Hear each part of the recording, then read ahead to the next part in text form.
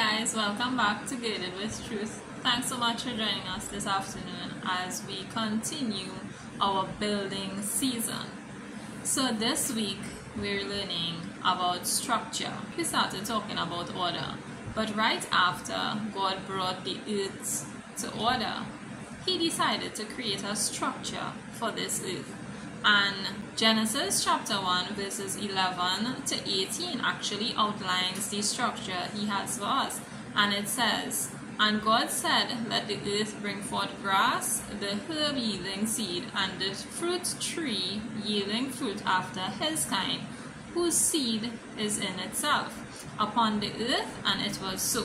And the earth brought forth grass, and herb yielding seed after his kind, and the tree yielding fruit whose seed was in itself after his kind. And God saw that it was good. And the evening and the morning were the third day. And God said, Let there be lights in the firmament of the heaven to divide the day from the night, and let them be for signs and for seasons, and for days and years, and let them be for lights in the firmament of the heaven, to give light upon the earth. And it was so. And God made two great lights, the greater light to rule the day, and the lesser light to rule the night. He made the stars also, and God set them in the firmament of the heaven to give light upon the earth, and to rule over the day and the night, and to divide the light from darkness. And God saw it was good. So I read all of these verses, and most of it talks about the structure that God decided to place within the earth. So, the whole aspect of God setting trees in motion so that it can go on to create this cycle where when we get the fruit to eat, we can replant it and it can grow for itself with the sunlight, with uh, water, with all the things necessary for trees to grow. And so too, as we are in our building season, God has taken us through a journey. He has taken us and taught us some things that are necessary for us to continue to build.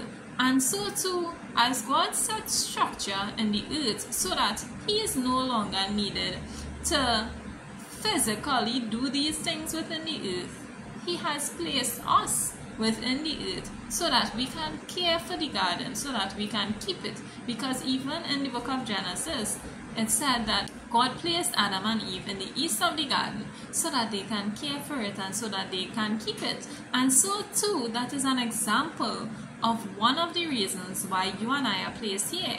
So, whatever God has put in order, and structure upon the earth, we have a responsibility to care for it and to keep it. We are merely stewards in this earth. God has designed this earth for us to steward our destiny.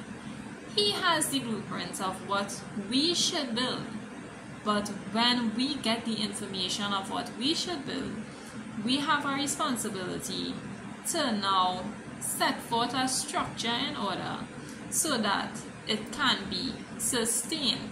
We don't have to continue doing the same things over and over again. We have to set a structure so that whatever it is, be it a business, be it children, whatever it is, God has given us instruction to create a structure. So if we have a business, we don't have to work in that business every day. We have to build the proper structure and allow our business to work for us. If we have children, we don't have to instruct these children every day.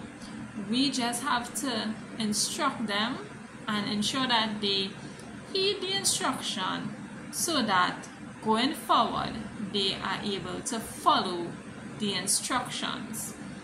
We don't have to continue doing the same things over and over again because we are in our building season and part of building means you move from one aspect to the other. So every time God put our structure in order, He said it was good.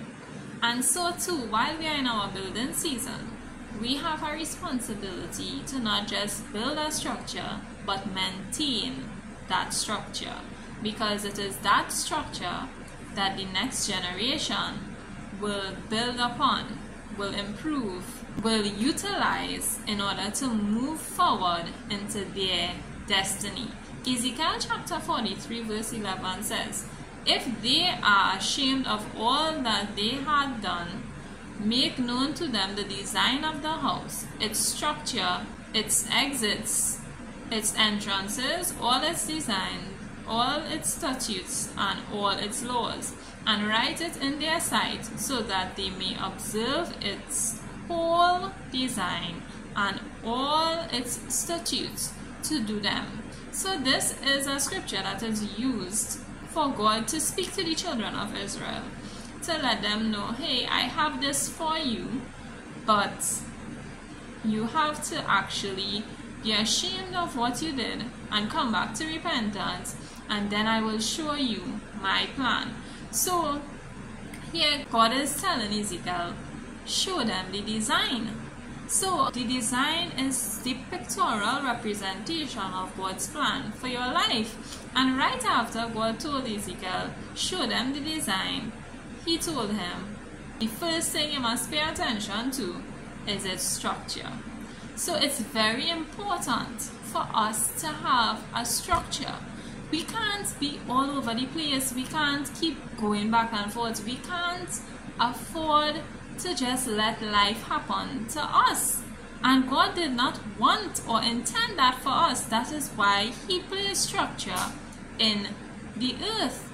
You know what it's like if you wake up one morning and your whole house is the sea all around, and then the next morning there's earthquakes all around you, and the next morning there's just snow falling all over around your house. That is not how God intend for us to be.